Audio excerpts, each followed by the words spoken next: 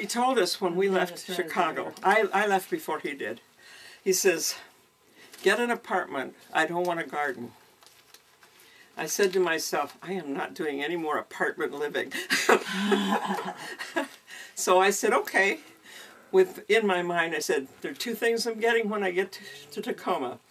We're renting a big house, and I'm getting a Steinway piano to go in it. So you got the Steinway piano first, and they said, "Where do we deliver it?" And she says, "I don't know yet where it's going." when he came, this, wow. the, he walked in this house, wonderful house that we were renting, and there was a beat up old chair and stool that I'd found in the basement, a mattress from the bed my, of my folks, and the piano. And I didn't know she'd gotten it. Oh. Yeah. So it was anyway. very exciting. My father, who bless his heart, didn't know he paid for it when he died. That he didn't know that's what he was going to pay for.